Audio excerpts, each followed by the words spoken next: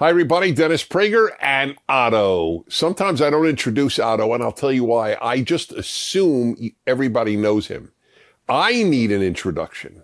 Otto needs no introduction. This is the Fireside Chat, complete with Fireside, and I do the chatting. So this is number 222. 223. 223. I always miss by one. It's eerie. 223. Before I proceed, I just want to remind you that everything we do is available to people for free. Is that correct? Is everything? I thought it was everything, yeah. And that's a lot of content, and we're we're touching a lot of people. We're we're trying to make a really big difference uh, in in America's life and in the West's life. So you can help us by donating, and in America, it's a tax-free donation. Just so you'll know, tax deductible, not tax-free, tax deductible. And for $35 a month, you also get four 35 or more. you can give more. You get four gifts a year, and they're pretty nice gifts, by the way. It's not, uh, as I noted earlier, a Cracker Jacks box. So go to prageru.com and please donate. And I'll tell you something about donating. Very few people wake up in the morning and think, ah, another day to give away money. Okay, that's not normal. I don't, and I try to give a substantial amount to charity. But once you give it, literally the moment you feel good about yourself. It's a fascinating thing how I don't want to, I don't want to, I don't want to, I don't want to. Ah, now I feel good. That's what happens. Okay, so the purpose of the fireside chat is simply for me to offer you some thoughts spontaneously. None of this is rehearsed. And then take your questions. So I decided to address a very uh, controversial issue uh, about the uh, about Ukraine, Russia, but the bigger issue of what what America should intervene in and what not to, and even bigger than that. I'll begin with the bigger than that so I, I have made the case. You can see it twice. A PragerU video by Bret Stephens of the New York Times and a column by me from eight years ago, I believe it is, defending the idea that America should be the world's policeman. So I begin with the question, does the world need a policeman? And the answer is pretty self-evident.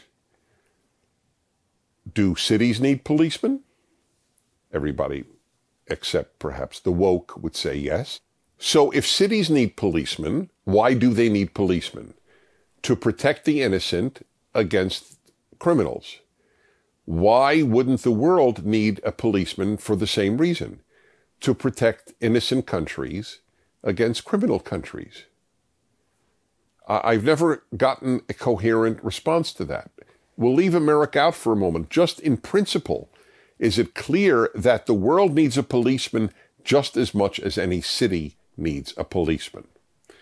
So now, question number two. What happens if there's no policeman? Same thing that would happen in a city. There would be mass murder. That's what would happen in the world. Mass murder. Number three, who should be that policeman? So, since the world needs a policeman, there would be horrific consequences if there were none. Who should be it?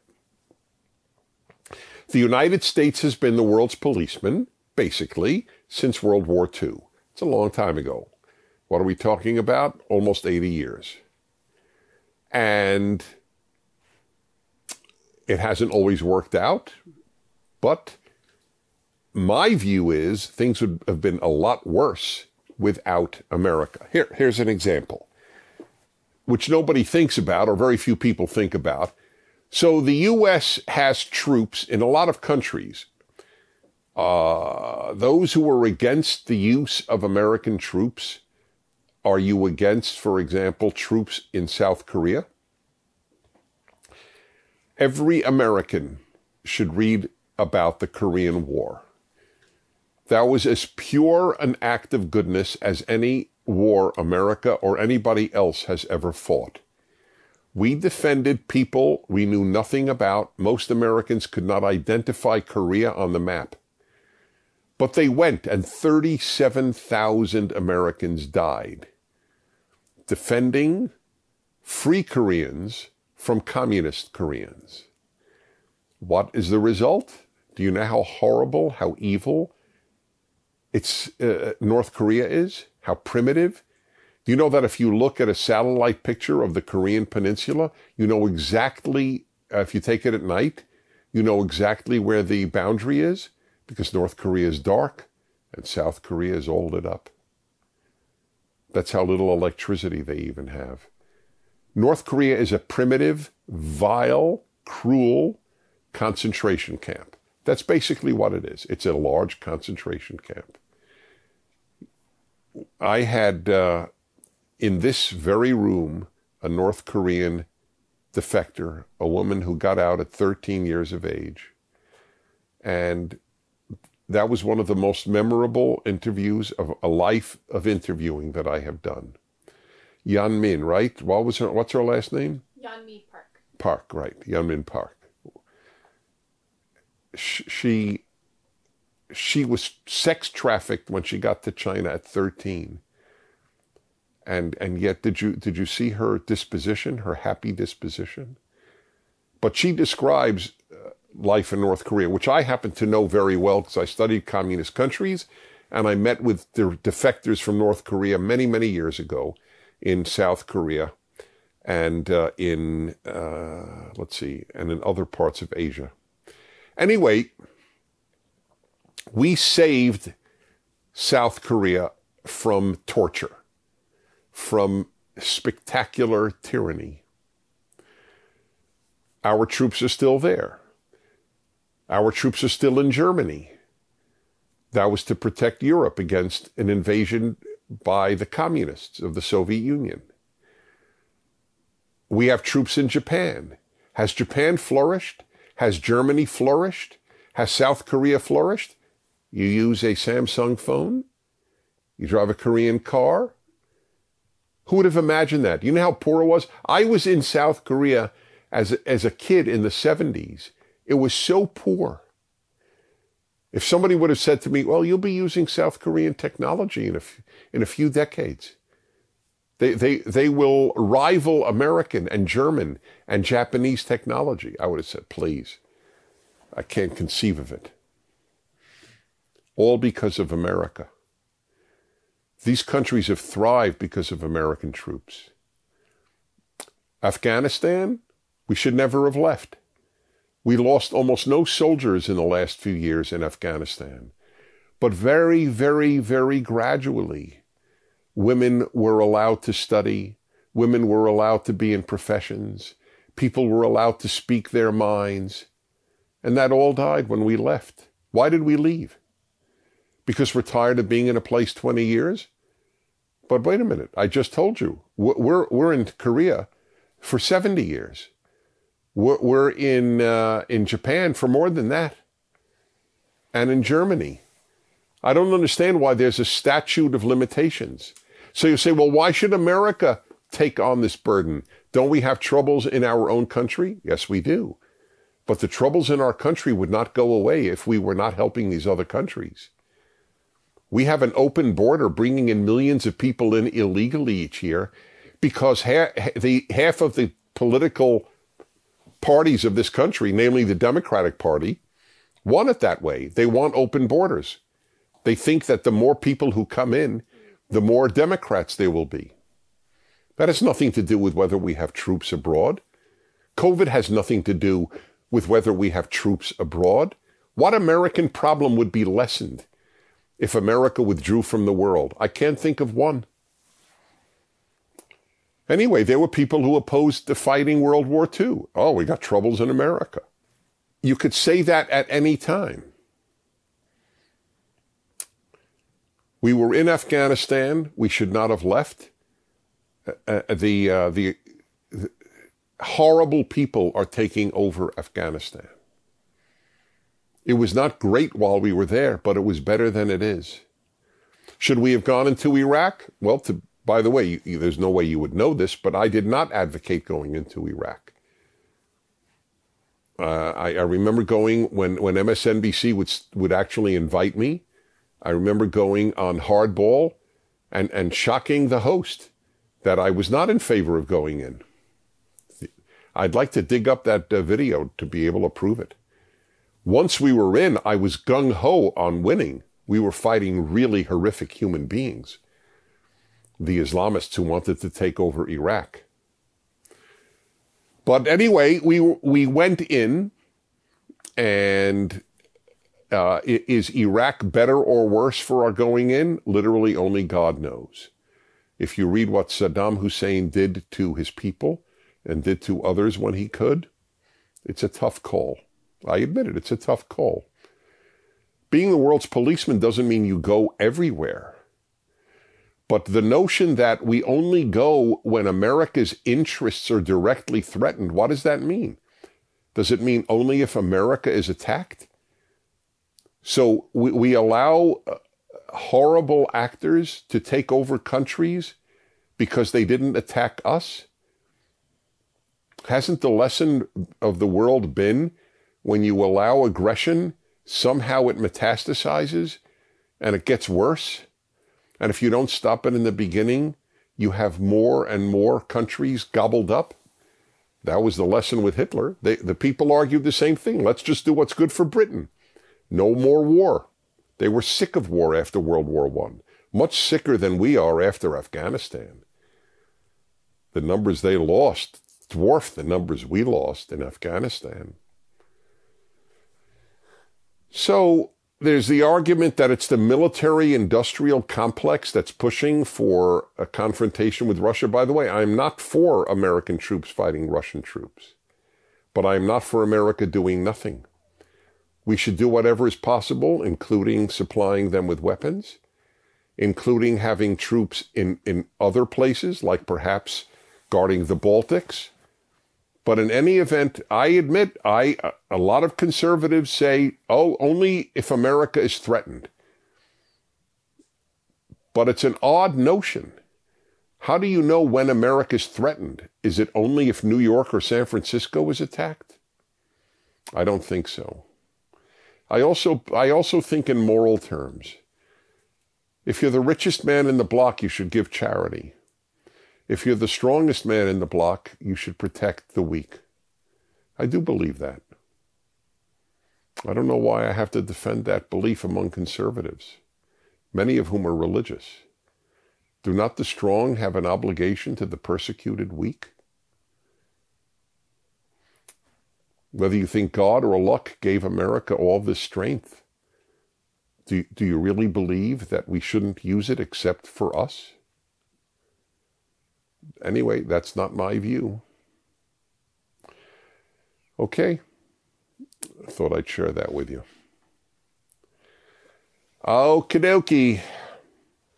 Question from you folks. We always begin with a video question. Hi Dennis, my name's Noel. I'm 22 and I'm from Los Angeles, California. And my question is what advice would you have for young conservatives who are afraid to speak out in their beliefs because they fear retaliation from others? Okay. That is a very good question. And uh, what was her name? Noel? Well, I know I've dealt with this, but it doesn't matter. I could deal with it every week and it wouldn't be too much. This is not a question for young people alone. This question will plague you for the rest of your life. What risks do you take to your, for yourself to do what is right? Now, there are times when the risks are so horrible. If you knew if you'd speak out, you would be shot. I wouldn't advocate that you speak out now.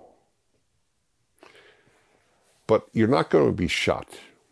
You'll lose friends. You'll be attacked on social media. And I guess the best example I could give is this young woman that I, I have had on my radio show who had this exact dilemma. She went from liberal to conservative. Interestingly, after reading my book, Still the Best Hope, I don't mention that book often, but if you want to understand the left and America and Islam, those are three books in one. Still, still the best hope. But deeply affected her. She wrote me a letter. By chance, I happened to see it. And then she watched PragerU videos, and it reinforced her conviction that she was no longer on the left. So she came to my to to visit my show, and I asked her, "Would you like to come on the show and, and talk about why you went from left to right?" And I said, "Look, I just want you to know that you'll you'll you'll probably lose some friends. You'll be attacked at your college. In her case, it's Harvard, and." I, I can't tell you what to do, but I do want you to know that you will pay a price if you come on my show. And I'll never forget, she said, uh, I'd like to talk to my mom. I thought it was very, very sweet, actually. So she left my studio to speak. I continued my show. She walked back in during the next commercial break and she said, I'm coming on. So she came on, spoke about it, and sure enough, Um, a few months later, I had her on again. I said, How did it go after you, you came on my show? She said, I had two weeks of hell. Those were her words. Friends from, from elementary school dropped me. I was attacked at college. And I said, And then what happened? Said, Then I went into heaven. said, Really? And why is that? And she said, Well, and this is what I remember, not in this order necessarily, but I remember. One thing she said is, I sleep better. And of course, you'll sleep better. When you don't hide who you are, you sleep better. That's just a fact. And she said she was rewarded. I said, How was that? She said, I met all these people that were kindred spirits who came out. When I left the closet, people like me found me. People who share my values found me. But if you're in the closet, you can't be found. Isn't that important? So you will bring wonderful people into your life by speaking out. If you don't speak out, nobody knows who, who, who you are to, to befriend you. So you'll have friends that you have to hide yourself from versus friends that you could be completely yourself with. Doesn't that sound great? But you will pay a price. It is not possible to go through life doing what is right and not pay a price. No society has ever been that wonderful, that good, that just speaking out on behalf of good doesn't mean you pay a price. That's heaven. In heaven, goodness is self rewarding. So I hope that gives you a clue as to what I would advise. Question from Kezia, 28 years old, in Manado, Indonesia. Hi, Mr. Prager. Hope you're well. I am. I love to listen to your Fireside Chat podcast every day while driving to and from work. Thank you. How big a listenership and viewership do I have in Manado? That would be fun. Yeah. Get a PragerU license and see how many people go thumbs up. Anyway, my question is Do you believe God makes specific intervention in our life if we pray and ask Him to? I always have this discussion with my boyfriend, and he doesn't think so. But two weeks ago, you talked about God, quote, let, unquote, bad things happen sometimes. Please give us your insight thoughts. I love what you're doing. God bless you, your family, and PragerU team abundantly. Love from Indonesia. Well, my theology, uh, in in a nutshell, is God lets bad things happen, and that I don't expect God to intervene on my behalf. I never did, and so uh, my preoccupation with God is what does God want from me, rather than what do I want from God. And I think that's the healthiest view of God. It also produces the best person. A lot of people, I would say half of the people who believe in God, believe in a different God than I do. They believe in what I call a celestial butler. A, a, a butler, a uh, housekeeper who's in, in the clouds, in the heavens. That's not my view. Does that mean you never pray? I, I never would say that. But I have, I have no expectations that God will intervene on my behalf. As I said, I am preoccupied with what God wants from me, not what I want from God.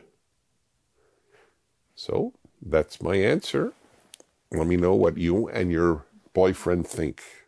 I think sometimes people take expectations as a confusion that you're saying that God will not do it. But you're just saying the way you Oh, right. No, I thank you for that. No, I would never say God won't do it. Yeah, I just don't expect him to do it. and you don't live your life with that. Right. I don't live with that expectation.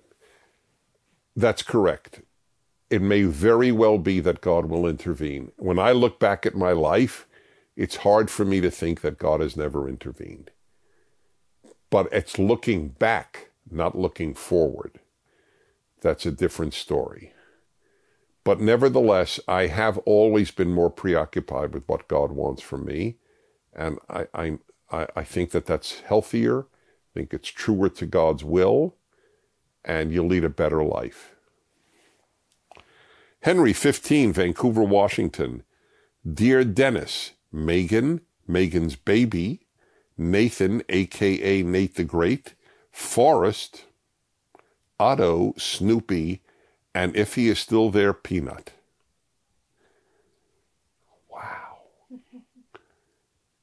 He he goes back far and in the future as well. That's true. I have seen every, he's 15 years old.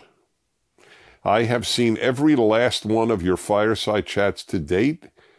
And here is my question. If you could give an 11th commandment, what would it be and why? Well, you know, my, my fundamental belief is that it is, should be the mission of every Jew and Christian to bring the world to the Ten Commandments.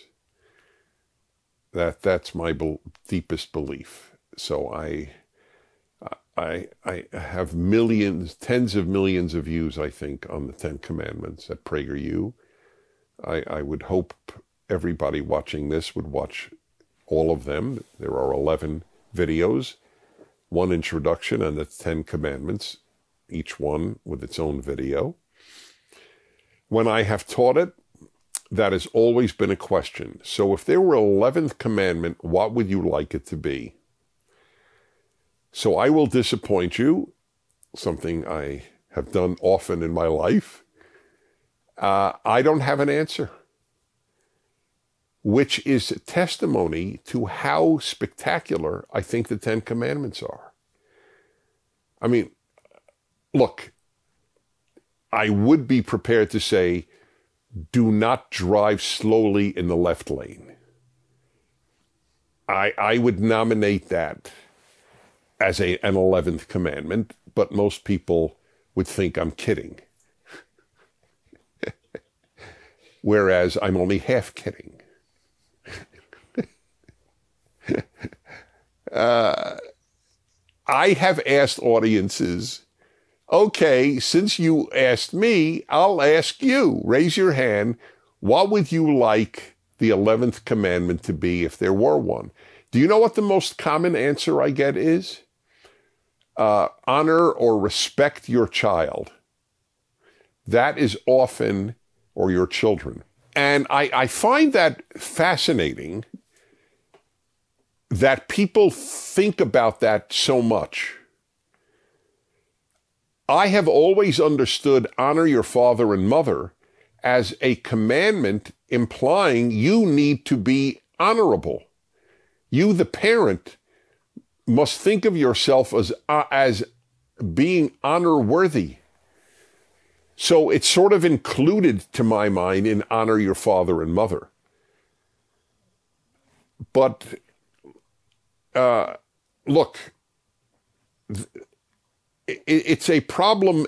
The, that's a problem in and of itself. Parents' duty is is to give their children moral guardrails. It is, that's how you honor your child.